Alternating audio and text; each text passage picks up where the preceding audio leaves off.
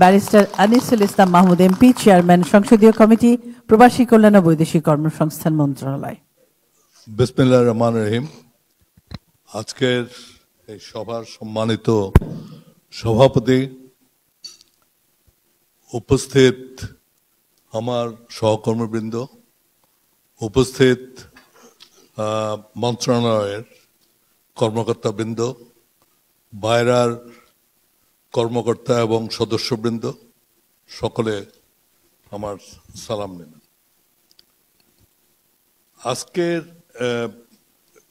অভিভাষণটা actually আমার খুব কাছের একটা সাবজেক্ট কারণ আমি আসলেই বিশ্বাস করি যে বাংলাদেশের উন্নয়ন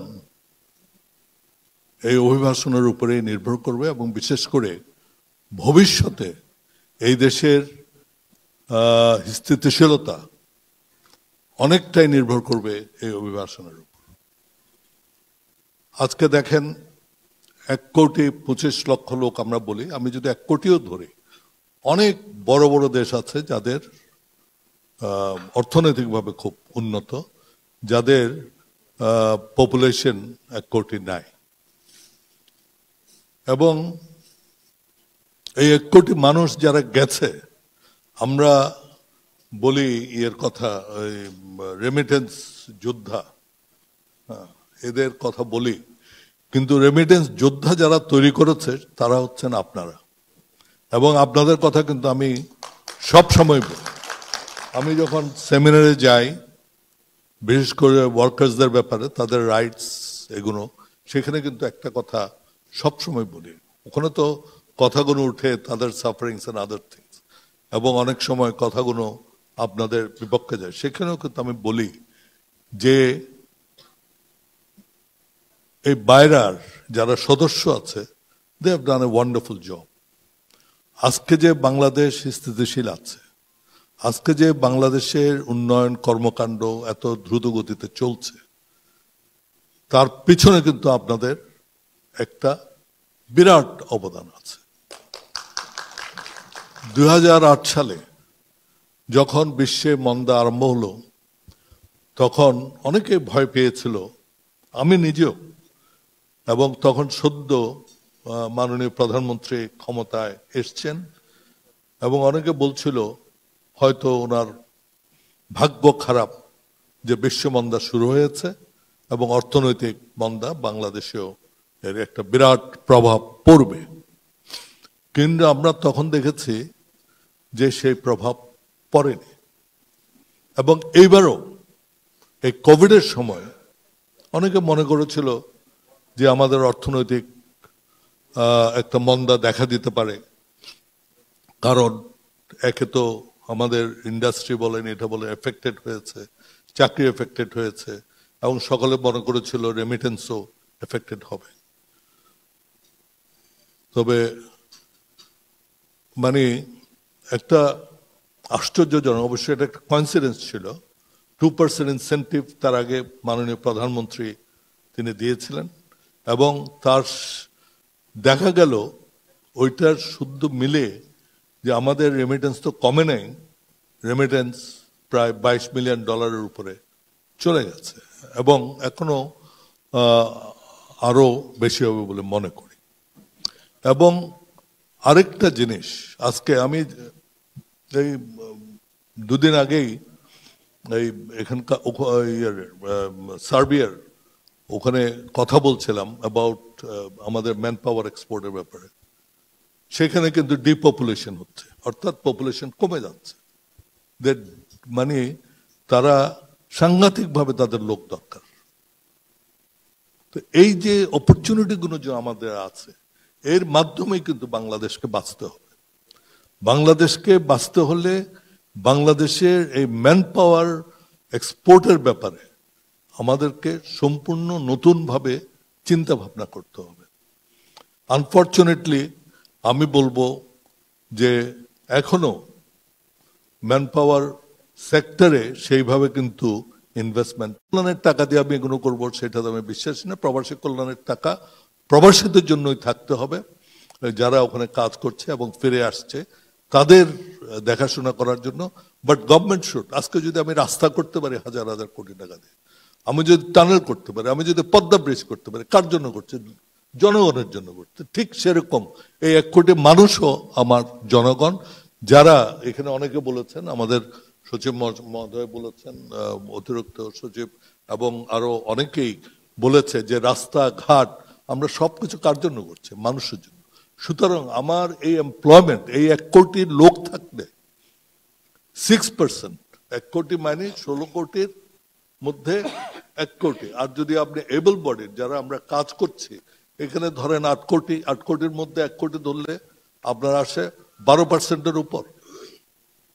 যে আমার টোটাল এক্সপেন্ডিচার ইনভেস্টমেন্ট এখানে যে we should be giving twelve percent আমি টুয়েলভ পার্সেন্ট চাচ্ছি না।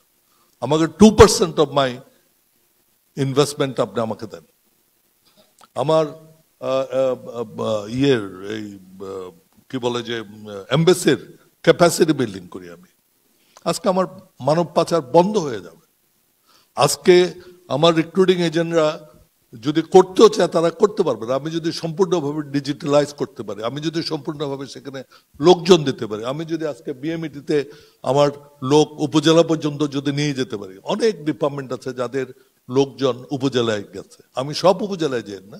যেখানে আধিক্য আছে, সেখানে আমরা কেন অফিস নেব না? এগুলো যদি করি, তাহলে আমার চেক করতে দেখতে আমরা সহজেই সুতরাং এই জিনিসগুলো আমাদের উপলব্ধি করতে হবে অ্যাজ এ নেশন এবং আমি বিশ্বাস করি this is the most important sector আজকে এমনিও যদি ধরেন যে, আমি দেখেন দুটা sector is contributing to the development of this country একটা হচ্ছে দিস ম্যান পাওয়ার আর একটা হচ্ছে আমাদের export and mainly garment export দুটেই কিন্তু কখনো সম্মান পায়নি। গার্মেন্টসরা তাদের পেশি শক্তি দিচ্ছে। গার্মেন্টস গার্মেন্টস যাদের আছে, তাদেরকে দর্জি বলা হতো। তাদেরকেও দর্জি বলা হতো। They were also not respected and similarly আপনাদেরকে আদম ব্যাপারী বলা হয়। তো কথা হচ্ছে যে কে কি বলল সেটা বড় কথা না। বড় কথা হচ্ছে যে see when I Lev the government as a foreign minister and I was ইউনিভার্সিটির শিক্ষক ছিলাম, আমি যখন গার্মেন্টস করে আমাকে অনেকে বলেছে, বলে যে, আপনি কেন গার্মেন্টস করবেন? আমি বলে যে if I have to have an honest income সেটা যদি আমাকে গার্মেন্টস করে করতে হয়, এমন করে যদি রাস্তা ঝাড়ু দিতে হয়, আমি দিতে রাজি আছি। কে কি বলল সেটাতে আপনাদের আসতে যাওয়ার কথা না। You know what you are doing আপনি যদি অন্যায় না করেন, আপনি যদি কারও ক্ষতি না করেন, আপনার কে কি বলল তাতে কি এসে যায়? কত হচ্ছে দুইটা সেক্টরই কিন্তু বাংলাদেশকে ধরে রেখেছে। এই দুইটা সেক্টরকে কখনো একসময় তো ten fifty ten twelve years twelve years না it's about fifteen years back দর্জি ছাড়া গার্মেন্ট সেক্টরকে বলা হতো না। তো সুতরাং এগুলি নিয়ে চিন্তা করবেন। আপনাদের যেই সমস্যাটা বর্তমানে করছেন, এটা কিন্তু আননেসেসারি একটা সমস্যা, তৈরি হয়েছে।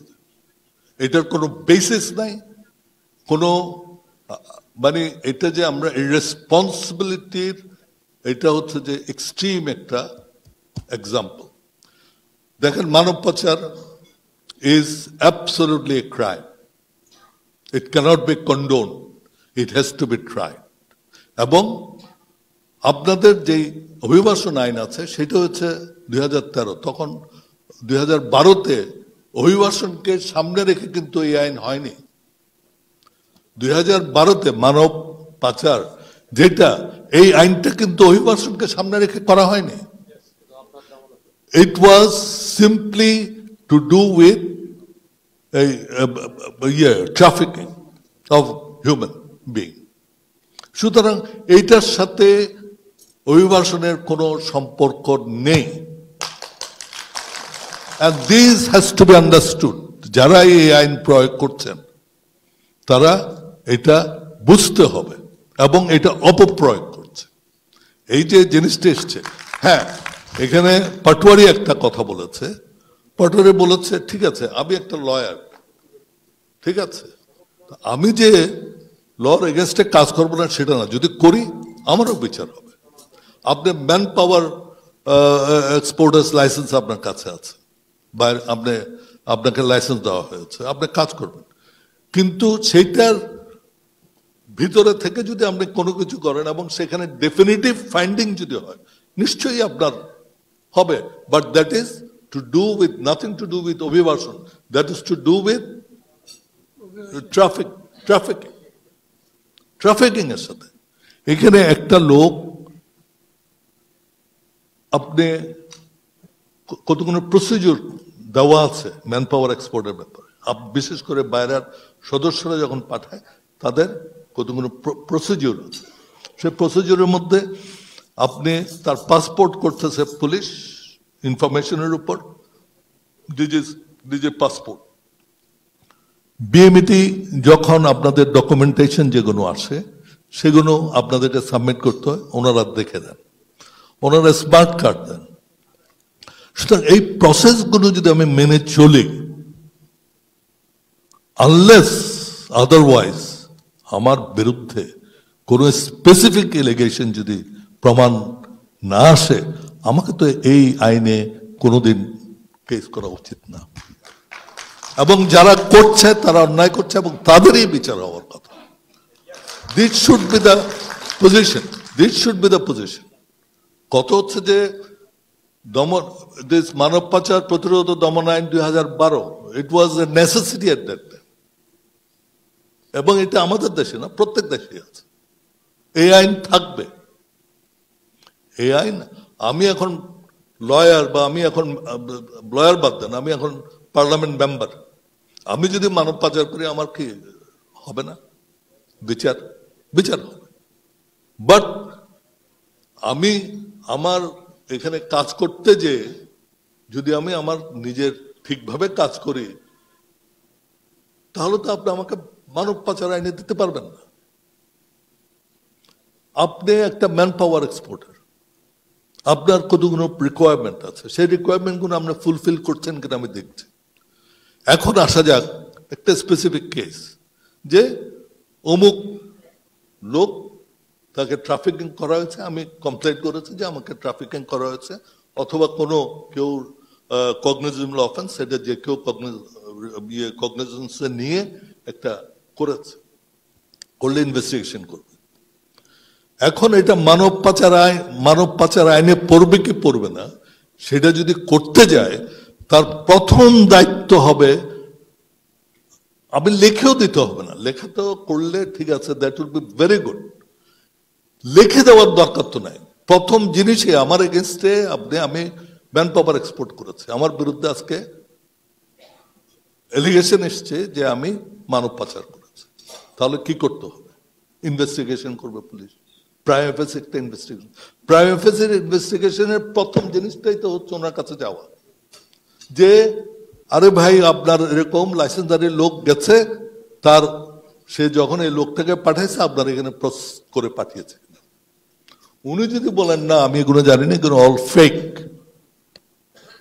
অথবা সে এই জায়গায় তার ব্যত্যয় আছে, তখন তার বিরুদ্ধে আমরা কেস দেন কিন্তু you have to for any investigation যে একটা ম্যান পাওয়ার এক্সপোর্টার আর রিক্রুটিং এজেন্ট তার বিরুদ্ধে যখনই এলিগেশন আসবে about a person who is been sent abroad প্রথম জায়গা আমাকে যেখানে ইনভেস্টিগেট করতে হবে, সেটা হচ্ছে যে বিএমিটিতে যে ভাই এর লাইসেন্স আছে কিনা, এই লোকটার।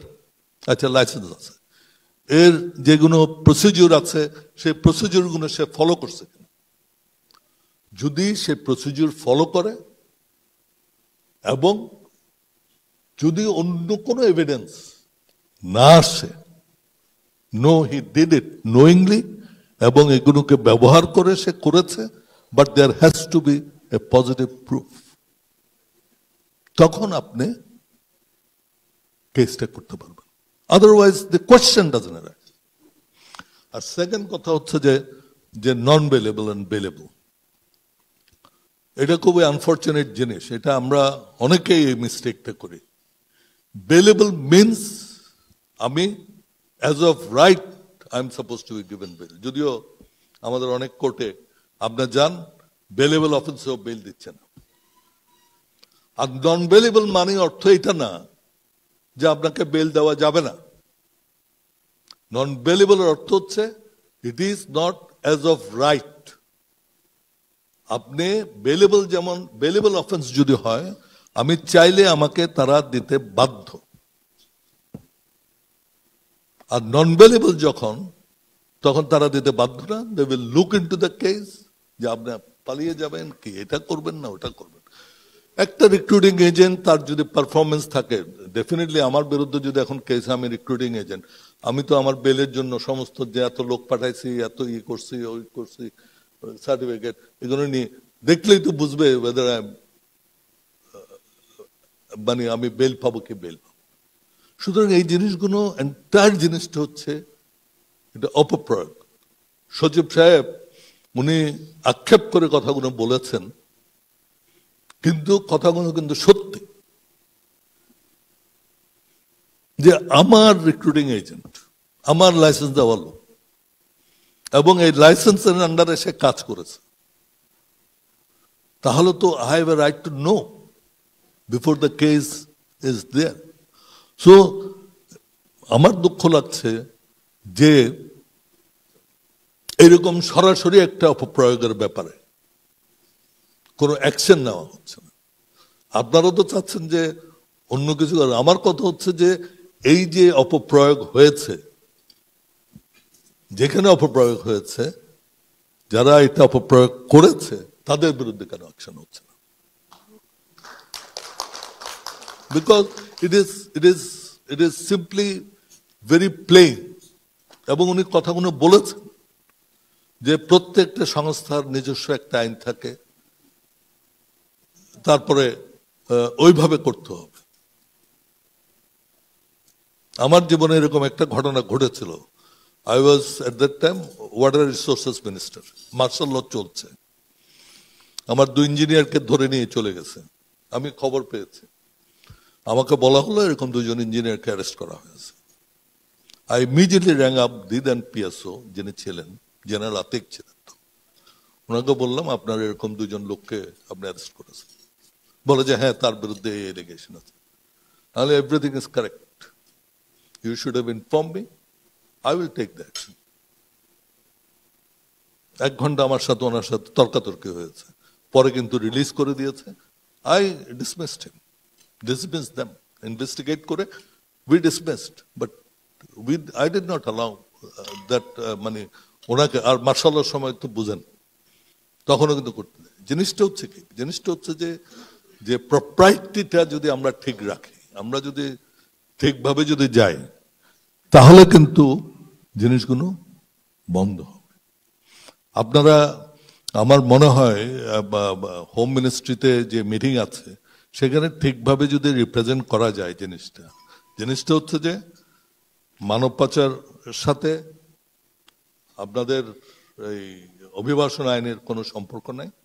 আরেকটা জিনিস আজকের ডিসকাশন আমি সবচেয়ে বেশি খুশি হয়েছি একটা জিনিসের জন্য, সেটা হচ্ছে যে আপনাদের অ্যাকসেপ্টেন্স অব অভিবাসন আইন।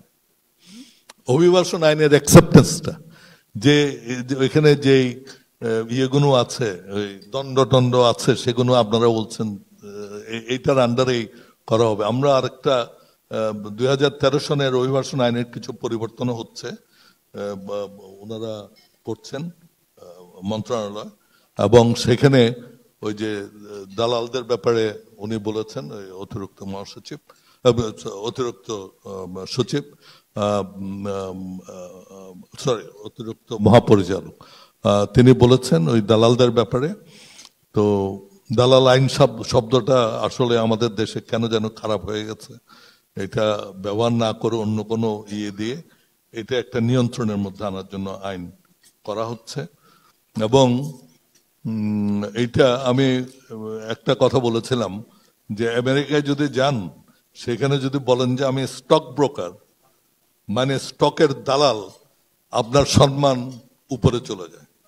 Stock broker in United States it goes up there আর আমার এখানে যখন দালাল বলি, তখন মনে হয় যে লোকটা বোধহয় মাটির নিচ্ছে তো এটা আনফর্চুনেট তো আমরা বলেছি অন্য আরেকটা নাম দিয়ে এটা করার জন্য but it has to be done কারণ আপনারাও বিপদে পড়ছেন, লোকও বিপদে পড়ছে। এবং সরকারও বিপদে পড়ছে, সমাজও বিপদে পড়ছে। কারণ আপনারা যে জিনিস করেন নাই, আপনারা যাকে চেনেন না, জানেন না, বা একটা আইনের আওতায়। কারণ আমি যখন টাকা দিয়ে আমি দিতে না পারলে অটোমেটিক্যালি আপনাকে ধরি। আপনি বলেন যে, আমি জানি না, ওই বেটা নিচে তো ওই জিনিসগুলো বন্ধ করার জন্য দুই হাজার তেরোর একটা পরিবর্তন আসছে এবং ওনারা যে পরিবর্তনগুলো করেছেন, আমরা মোরলেস আমি বলব যে ভালো পরিবর্তন হচ্ছে। আপনাদের হয়তো আপনারা প্রথমে দেখে হয়তো একটু ইয়ে করবেন, কিন্তু এগুলো আপনাদের পক্ষে যাবে ইন দ্য লং রান আর এইটার ব্যাপারে আমি আর- অ্যাকচুয়ালি আজকের যে মিটিং এটা বোধ হয় ইয়ে নাইম বলেছেন যে you have got the wrong people আনা উচিত ছিল হোম সেক্রেটারি। আনা উচিত ছিল স্ট্যান্ডিং কমিটি ইয়ে কারণ যে আইনটা নিয়ে কথা হচ্ছে, সেটা কিন্তু অভিবাসন আইনের সাথে কোনো সম্পর্ক নাই। এটা is totally different thing but we will support you এবং উই উইল আমাদের পক্ষ থেকে যে যতদূর করা হয়, করা যায়, এটা আমরা স্ট্যান্ডিং কমিটিতে ডিসকাসও করব আমি। একটা এজেন্ডা দিয়ে দেবো আমার স্ট্যান্ডিং কমিটিতে ডিসকাশনের জন্য। এজেন্ডা দিয়ে আমরা আমাদের এখান থেকে একটা মতামত আমরা জানাব। আমরা মতামত এটা জানাব and I think that might help কতদূর হেল্প হবে জানি না তবে আশা করি হেল্প হবে। এটা খুব সহসাই করবে। খুব সহসায় আমি করে দেব। আর আপনারা এখন এই আঠারো তারিখ ইয়ে কত? একুশ তারিখ মিটিং না? একুশ তারিখ মিটিং এর পরে মানব বন্ধন বন্ধন করেন না আমাদের জন্য অপেক্ষা করেন আমরাও মিটিং টিটিং ডাকি দেখা যাবে। কিছু একটা হবে। মানববন্ধনের দরকার নাই। মানববন্ধন দরকার নাই। This government is reactive government এরা, ওনারা আসলেই কিন্তু পরিবর্তন চাচ্ছেন, দেশের উন্নয়ন চাচ্ছেন, এবং জিনিসটা বুঝাতে পারলে আমার মনে হয় will be able to do it thank you